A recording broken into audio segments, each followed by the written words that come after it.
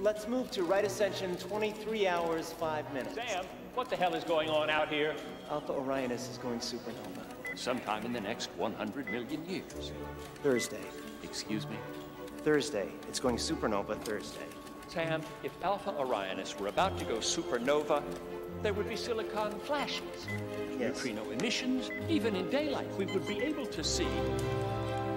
You predicted this?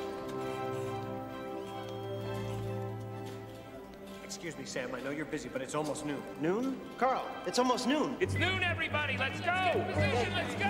What? What?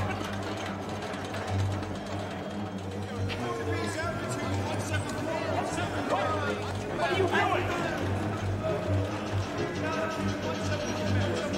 You're pointing the damn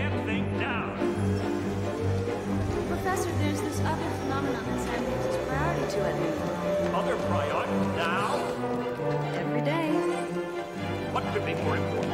Actually, Professor, this event isn't strictly celestial.